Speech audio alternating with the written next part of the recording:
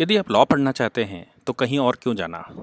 हमारे ऐप को डाउनलोड करें और लॉ पढ़ें। नमस्कार। कल एक फ़ोन आया जिस पर नमस्ते और नमस्कार पर एक सजेशन आया और उन्होंने कहा कि आप नमस्ते की जगह नमस्कार किया करिए तो आज से हम एक नया वो शुरू करेंगे। नमस्ते सदा वत्सले मातृभूमि। इस मातृभूमि को नमस्कार करते हुए हम शुरू करते हैं। देखिए कल मैंने दिल्ली सरकार के एक नोटिफिकेशन को एलजी ने अपास्त किया, उस पर आपको एक लेक्चर पब्लिश किया था। आज मैं थोड़ा सा देख रहा था तो मुझे लगा कि एक और मुझे जजमेंट मिल गया ऑनरेबल हाई कोर्ट का, दिल्ली हाई कोर्ट का, दिल्ली सरकार के खिलाफ। उससे पहले का वो जजमेंट है और इसी प्रकार का आदेश उस समय भी किया गया था दिल्ली सरकार के द्वारा, जिसका, जिस पर ऑर्डर हो चुका है और हाईकोर्ट उसको अपास्त कर चुका था, जिसको एलजी ने आज अपास्त किया है। तो प्रश्न ये उठता है कि आखिर क्यों ऐसा एलजी करने ऐसा सरकार करने की कोशिश कर रही है और सरकार के मंशूबे क्या हैं जो मैं कल बता रहा था कि सरकार के मंसूबे मुझे ठीक नहीं लग रहे हैं।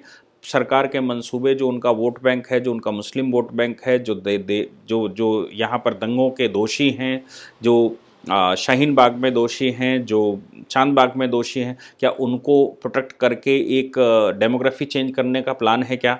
या अनजाने में डेमोग्राफी चेंज हो रही है और उनके मिनिस्टर्स अहमदुल्ला खान जैसे लोग इसको रच रहे हैं और उनको पता नहीं है?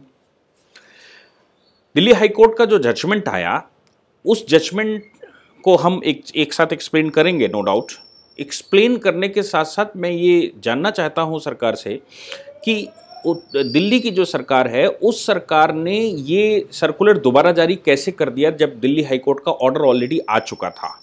आपके इस प्रकार के जजमेंट पर, इस प्रकार के ऑर्डर को दिल्ली हाईकोर्ट ऑलरेडी अपास्त कर चुका था तो उसके बावजूद आपको किसने ये राइट दिया कि उसी प्रकार का ऑर्डर आप फिर से कर दें? मुझे लगता है कि जब दिल्ली की सरकार बनी थी पहली बार, माननीय अरविंद केजरीवाल जी के साथ तो अरविंद केजरीवाल जी प्रेसिडेंट से मिलने गए थे, उस समय प्रणब मुखर्जी जी प्रेसिडेंट हुआ करते थे, और मुझे खूब याद है कि उन्होंने एक कॉन्स्टिट्यूशन का बैरक्ट यानी कि कॉन्स्टिट्यूशन उनको भेंट किया था। तो मुझे लगता है कि उस समय प्रणब मुखर्जी जी को भी ये अंदाज़ा रहा होगा ऑनरेबल प्रेसिडेंट को, कि ये व्यक्ति जो है, वो पढ़ा लिखा ज़रूर अपने आप को कह रहा है, लेकिन ये संविधान नहीं जानता, इसलिए इसको सरकार चलानी है तो इनको संविधान से चलानी चाहिए, इसलिए इनको संविधान दे देना चाहिए। हालाँकि छः साल सरकार के, साढ़े पाँच साल सरकार के हो गए हैं, फिर भी सरकार अभी कॉन्स्टिट्यूशन नहीं जान पाई कि लीगल सिस्टम कैसे चलता है जुडिशल सिस्टम कैसे चलता है और ये सारा प्रकरण होता क्या है। फॉलो करना भी होता है, केवल हमको तानाशाही ही करनी होती है। क्या हमको कुछ और नहीं करना होता है? क्या हमको इस पर विचार नहीं करना चाहिए? क्या हमारा विचार करने का कर्तव्य नहीं बनता है? ये सारी चीज़ें दिल्ली की सरकार को सोचनी चाहिए। मैं इस जजमेंट का हवाला देता हूँ ऑनरेबल दिल्ली हाई कोर्ट ने 12 अक्टूबर 2018 को एक पिटिशन फ़ाइल हुई social justice, a civil right versus government of Delhi. ये 12 अक्टूबर 2018 को ये जजमेंट आया और पिटिशन नंबर इसका 10585 बटे 2018 मिस और इसमें दिल्ली सरकार मतलब जो पिटिशनर थे, पिटिशनर को जो विरोध में थे वो government of Delhi N NCT Delhi था। इसलिए ये नहीं कहा जा सकता कि नहीं ये हमारा आदेश नहीं था। और ये आदेश तो आ, मेडिकल ऑफिसर ने दे दिया या कैसे कर दिया।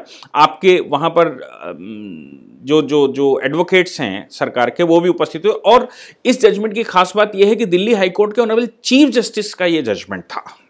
चीफ जस्टिस की दो जजों की बेंच थी उस दो जजों की बेंच में ये जजमेंट आया। क्या क्या कहा गया पिटिशनर ने क्या कहा?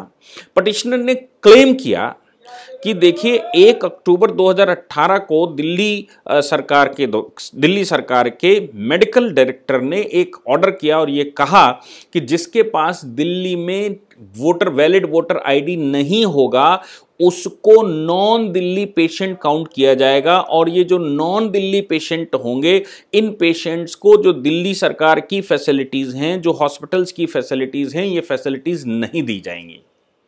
चैलेंज किया गया कि आर्टिकल 21 का उल्लंघन है। चैलेंज किया गया कि आर्टिकल 21 का उल्लंघन है और इसलिए ये मेरे फंडामेंटल राइट्स को इन्फ्रिंज करता क्योंकि इसमें बहुत सारी बातें और भी रही। सपोज़ मैं उत्तर प्रदेश का रहने वाला हूँ और दिल्ली में मैं बिज़नेस करने के लिए क्या आता हूँ क्योंकि नई दिल्ली सबकी राजधानी है और नो डाउट ये महानगर है। महानगर होने के नाते पूरे देश के लोग यहाँ पर रहते हैं।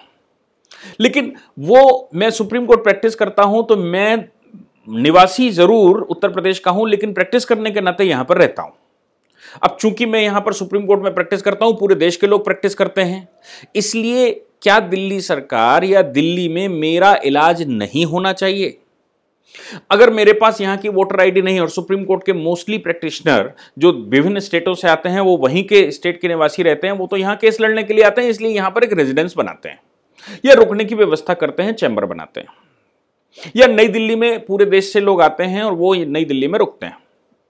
तो क्या दिल्ली में मुझे इलाज करवाने का अधिकार नहीं है या मेरे जैसे लोग जिनसे आप टैक्स लेते हैं दिल्ली में सिर्फ़ रहने की वजह से, आप दिल्ली में जो दुनिया भर की इंडस्ट्री अलग अलग जगह पर लगी हुई है, वो ऑफ़िस यहाँ पर खोलता है, गाज़ियाबाद में रहता है, नोएडा में रहता है, यहाँ दिल्ली में ऑफ़िस खोल, खोले हुए है, ऑफ़िस खोलने की वजह से आपको टैक्स देता है, उसको देना चाहिए था उत्तर प्रदेश सरकार को या हरियाणा सरकार को, वो आपको टैक्स देता है, आप के अस्पताल में क्या उसको इलाज करवाने का अधिकार नहीं है?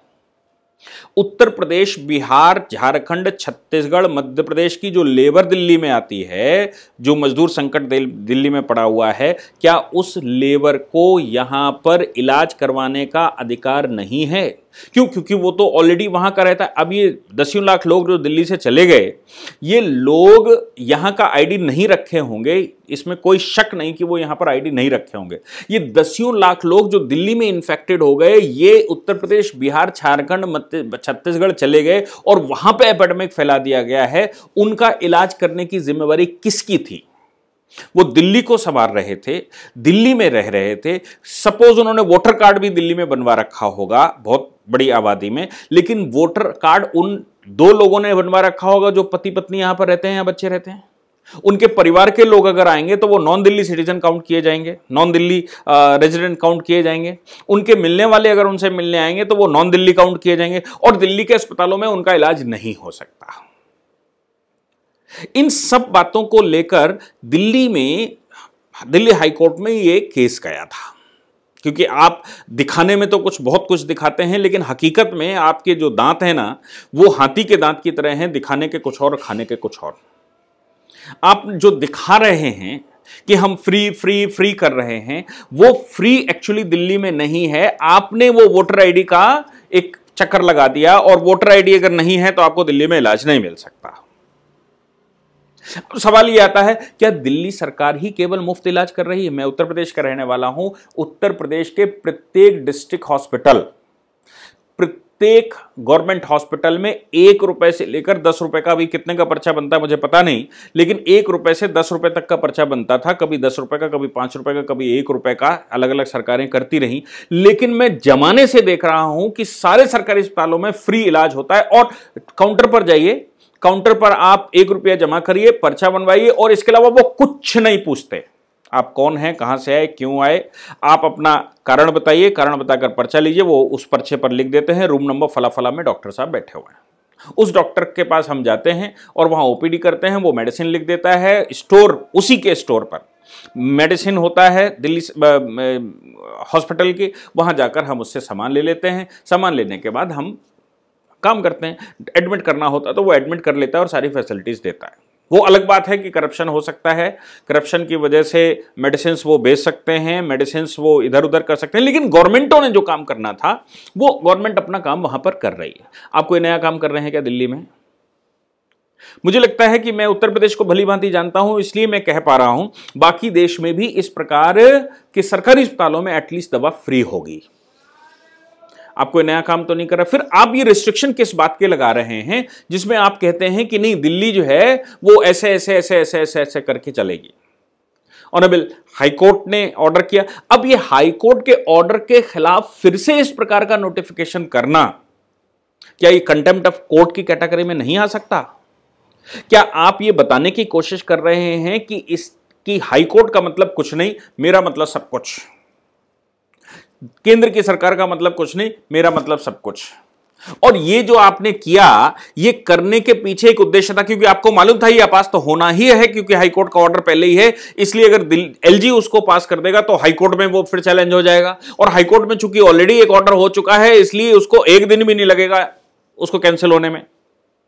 और एलजी ने तो केवल इतना काम किया है कि हाईकोर्ट के ऑर्डर को इंप्लीमेंट किया है, आपके इस नोटिफिकेशन को कैंसिल करके, बाकी उसने कुछ नहीं किया।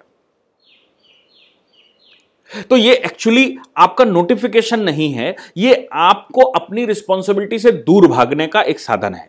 आप अपनी रिस्पॉन्सिबिलिटी से सिर्फ़ भागना चाहते हैं कि हम दिल्ली में, आप पहले तो दिल्ली में आपने कहा बहुत है बहुत है बहुत है, तीस हज़ार। अभी जो नई सब खबरें आ रही हैं, उसमें आठ हज़ार आठ सौ चौसठ बेड और आठ हज़ार आठ सौ चौसठ बेड में में भी केवल कोविड के लिए आपने चार हज़ार बेड छोड़े हुए हैं। अभी कहा आप दो लाख लोगों का इलाज करते घूम रहे थे?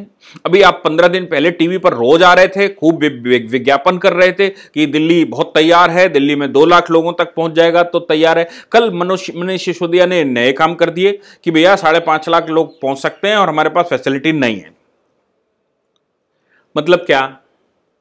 मतलब सिर्फ़ इतना है कि आपने ये जो मेरे पास सैलरी देने के लिए नहीं है, मेरे पास ये हॉस्पिटल्स नहीं है, मेरे पास, अरे भैया, साढ़े पाँच साल की सरकार हो गई, आपकी कोई एक महीने, दो महीने, पाँच महीने की सरकार नहीं है। पाँच महीने की जब सरकार होती तो वो कहती कि हम अभी बैठे हैं, अभी हम काम कर रहे हैं, अभी फैसिलिटीज़ पुरानी सरकारों की आप पूरा एक स्पान निकाल चुके हैं, आपके पास फैसिलिटी नहीं है, आज की तारीख में दिल्ली से फिफ्टी माइग्रेंट्स बाहर जा चुका है, वापस चला गया उत्तर प्रदेश में। और एपिडेमिक दिल्ली में इतनी तेज़ी से फैला हुआ है, देश में नंबर वन पर लगभग आ रहा है तो कोई आपके यहाँ इलाज करवाने के लिए दिल्ली आना नहीं चाहता? और आप कहते हैं कि हमने बॉर्डर सील किए। एलजी ने ये बॉर्डर सील करना या दिल्ली के अस्पतालों में इलाज नहीं होना या बाहर वालों का इलाज, ये सिर्फ़ बहाना या देश को उलझाने के लिए आपके द्वारा दिए गए स्टेटमेंट हैं। इन रिस्पॉन्सिबिलिटीज को आप संभालिए। आपको अगर बेड की ज़रूरत है तो केंद्र का कल मैं एक टीवी चैनल पर डिबेट देख रहा था। बीजेपी के जो स्पोक्स पर्सन थे, वो ये कह रहे थे कि अगर आपके पास फैसिलिटी नहीं, आप हमसे कहिए। केंद्र सरकार आपको रेलवे स्टेशन पर जगह देगी, रेलवे के हॉस्पिटल्स देगी, या जो उन्होंने रेल कोच में बना रखे हैं, उनको प्रोवाइड करेगी। आप एक बार कहें तो। आपकी नाक नीचे होती। आप नहीं कर पा रहे हैं। उत्तर प्रदेश सरकार बंबई और दिल्ली से गए हुए सभी मजदूरों का इलाज कर रही है। आपको लगता है और 22 करोड़ की आबादी है वहाँ पर। आप केवल दो करोड़ की आबादी हैं और दो करोड़ आबादी में भी 50 लाख के ऊपर लोग वापस चले जा चुके हैं। आप दो करोड़ भी उनको दे दीजिए, उत्तर प्रदेश वाले सारा सारा हैंडल कर लेंगे।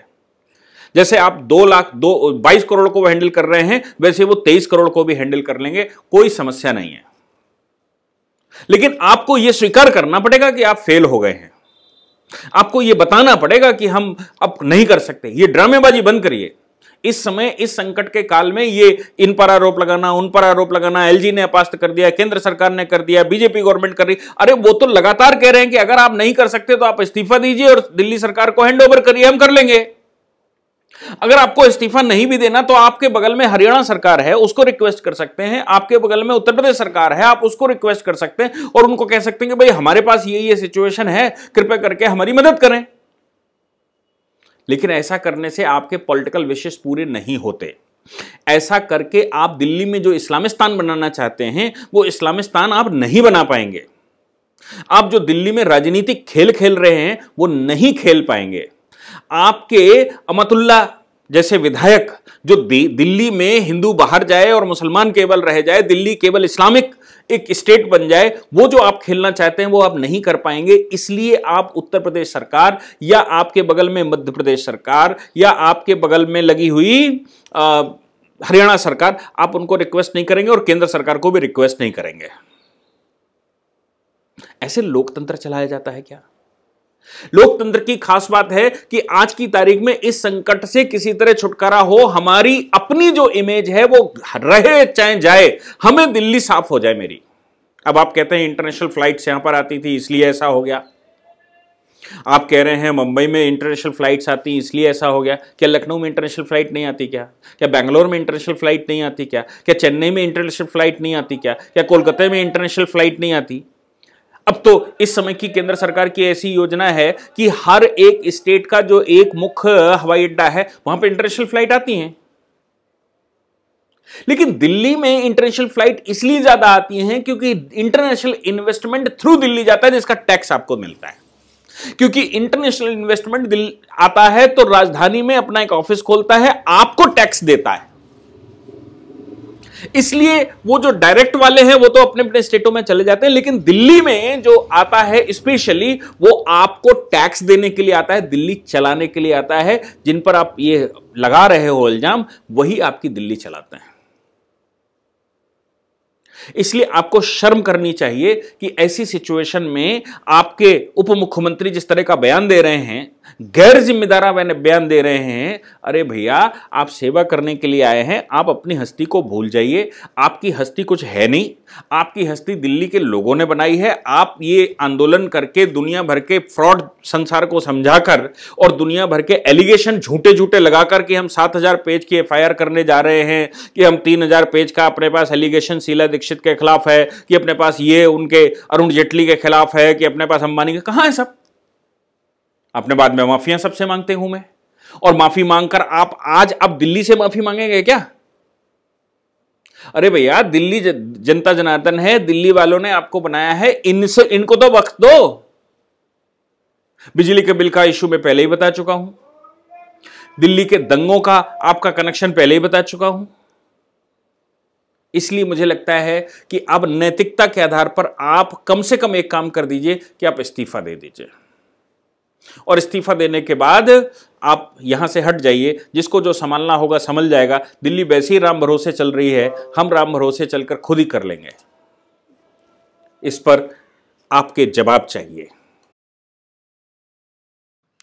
इस पूरी ऑर्गेनाइजेशन को चलाने के लिए आप नीचे डिस्क्रिप्शन से हमारे ऐप को डाउनलोड कर सकते हैं, जिससे कि लॉ स्टूडेंट्स को, लॉयर्स को और आम आदमी जो लॉ जानना चाहता है, वो पेड प्लस फ्री क्लासेस का लाभ ले सकता है।